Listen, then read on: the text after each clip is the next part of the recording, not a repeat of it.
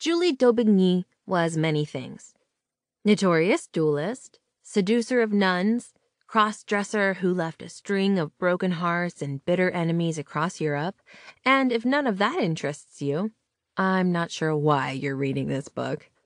Born in 1673 in France, we're not entirely sure Julie is her real name. All we know for sure is her stage name, La Maupin. But she was often credited as Julie in cast lists when she became a singing sensation, and Julie d'Aubigny is the name she is most commonly known by today. Her mom was out of the picture at an early age, and her dad, a vice riddled rogue who trained royal pages for the French court, seemed to really wish his darling little girl were a darling little boy, because he trained her alongside them in swordsmanship, riding, hunting, and all those other manly man activities of the 17th century. This unorthodox education might explain Julie's early predilection for wearing boys' clothes, waving swords about, and getting to know gentlemen, often in the biblical sense. In the tradition of centuries of protective fathers, Julie's dad had a habit of dueling any man ballsy enough to court his daughter. When she realized she'd have to take on some creative problem solving if she ever wanted to get laid, Julie shacked up with the only dude her father couldn't get away with dueling his boss. Which was when her dad decided they should probably get her married. Julie, however, decided probably no. When an engagement was arranged between Miss Julie and a milk toast royal clerk, Julie let everyone know exactly how she felt about it by running away to become a performing fencer. As a teenage fencing prodigy, Julie traveled France with a rascally swordsman who became both her lover and business partner, performing demonstrations with the sword to crowds that went nuts for this skinny girl who could sling foils with the brawniest of men.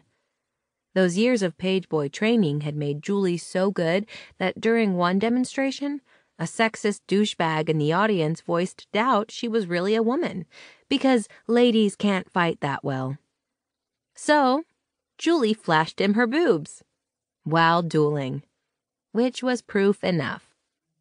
But Julie had a short attention span when it came to everything, and she soon grew tired of her swordsman lover especially when she caught the eye of a local merchant's pretty blonde daughter. Upon discovering their kid was queer as a $3 bill, the girl's parents decided the best thing to do was separate her from Julie by getting her to a nunnery. No problem for Julie. She took the veil too. Together, they had secret nun liaisons in the house of God.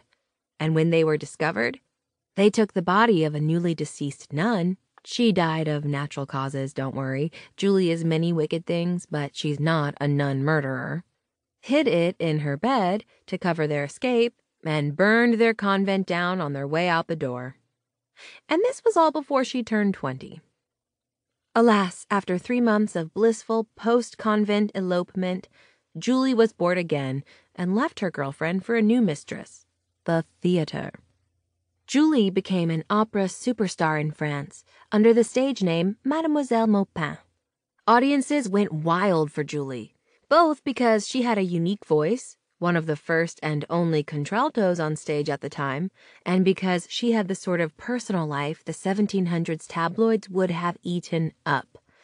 Julie's hobbies included singing, gambling, seducing men, seducing women, seducing women while dressed as a man, and dueling men who tried to stop her.